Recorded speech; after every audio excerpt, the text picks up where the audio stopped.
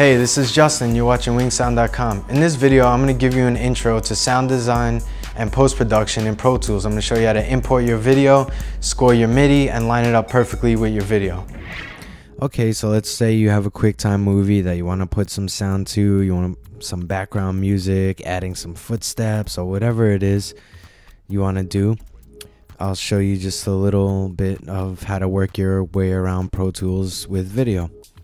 So to import a video, you go to File, Import Video, and it just imports your video to a video track.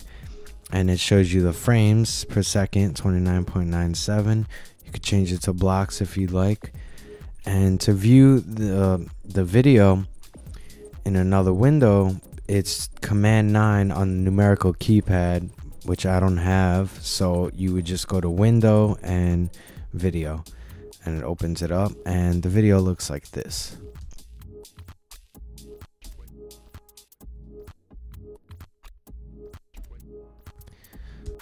That's our so that's our video and I want to put some sound to it. And I've opened up some instrument tracks and I've imported a drum sample that I want to match it up with wherever I want to use it.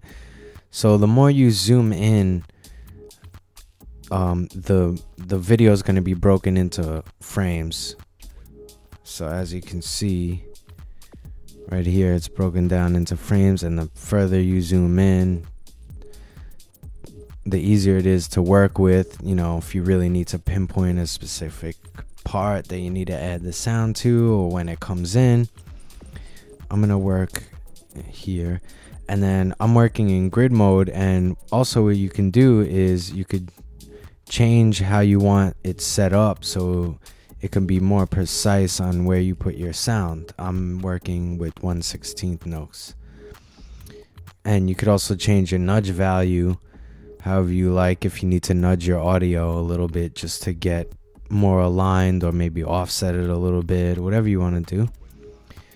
Okay, so starting out, I want to have this synth start when the WinkSound logo first appears. So, okay, so it appears right there. Here's my sound, and it's not exactly when I want to start it. So, just highlight whatever MIDI notes or audio you want to move and just drag it. And as you can see, the video moves with wherever I drag my audio, so it's really easy to pinpoint where you want to put it. So right here, the WinkSound logo pops up and that's where I want it.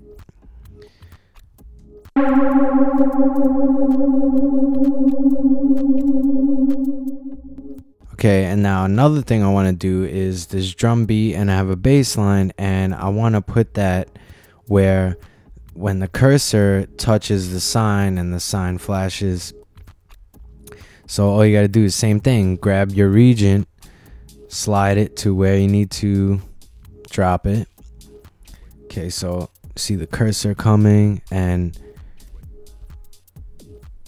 right here is when the WinkSound logo is clicked by the mouse. And I want to match that baseline up. Same thing just click your region whatever it is audio or MIDI drag it and then you line it up so as soon as that click hits, my bass line and my drum beat are gonna play. So here's the whole thing all together.